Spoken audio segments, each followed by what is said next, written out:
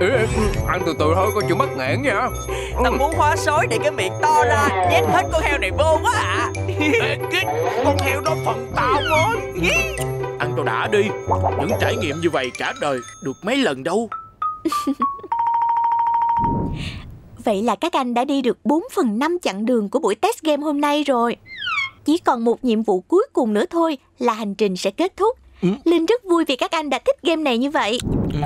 Ờ, Ờ. ờ, Ờ. ờ, Bốn phần năm rồi hả Ừ, À, phải rồi, nếu không nhắc á thì tôi cũng không nhớ ra đây vẫn là trong game ha. Vậy mà xém xíu nữa là tưởng mình và các anh em đang phiêu lưu thực sự rồi. ừ.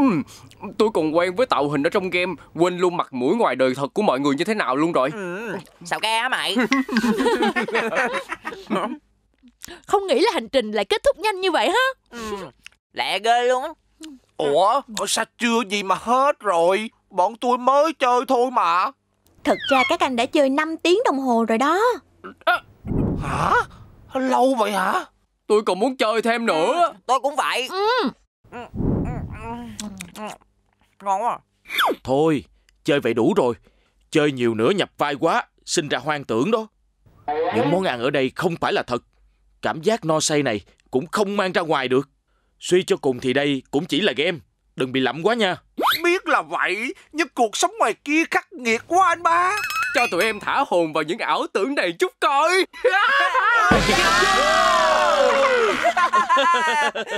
Ê, ê nè Tôi review game này nguy hiểm á Đã chơi sẽ nghiện á nha. Ai bảo làm chân thực quá chi? Dạ, cảm ơn feedback của mọi người. Linh và team phát triển sẽ khắc phục những ảnh hưởng tiêu cực của game tới người chơi ở bản phát hành chính thức ạ. Nhất định là phải giới hạn thời gian chơi mỗi ngày rồi Phải đó, nếu chơi mê mẩn á là không biết đường về đó. Ê, nhưng nói gì thì nói, trải nghiệm này đúng là quá đã. Nếu lỡ mà không về hiện thực được á, thì ở đây luôn cũng tốt mà.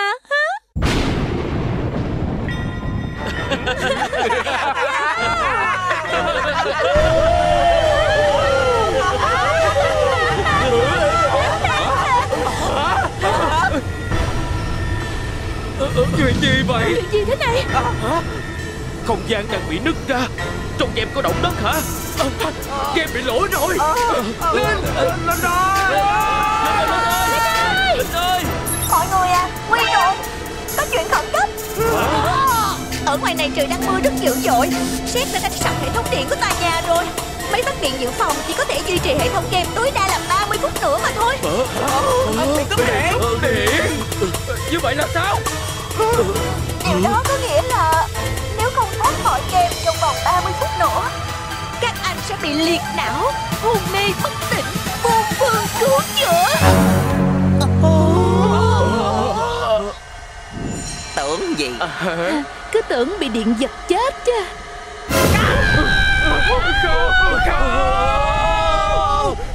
Sao chuyện đó lại xảy ra được Linh nói nếu có sự cố gì thì chỉ cần rút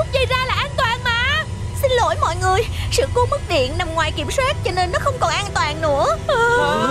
Tuy nhiên, vẫn còn một cách để thoát ra. Không ngờ người đẹp như Linh lại lừa bọn tôi.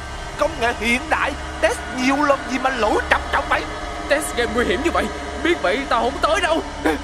Nói linh của hai Badland Muốn ở lại đây bây giờ toại nguyện rồi nè.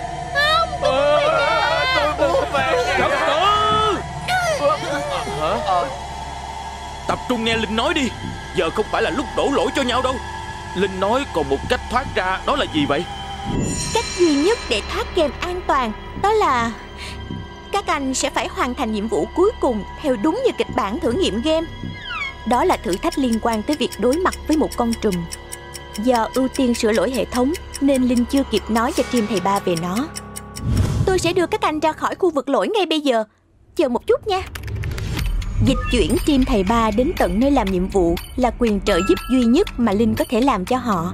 Nếu không, cô đã búp chỉ số tất cả lên tối đa để dễ dàng qua màn này rồi. ờ, Nó ở trong hang này hả Đúng vậy, Không có gì phải sợ Cả ma thần mình còn đánh được mà việc này vô cùng quan trọng.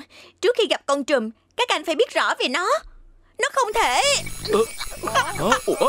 Hả? Linh Hả? Linh, Linh, Linh ơi Linh ơi Cô nói nó không thể gì chứ. Linh ơi, Linh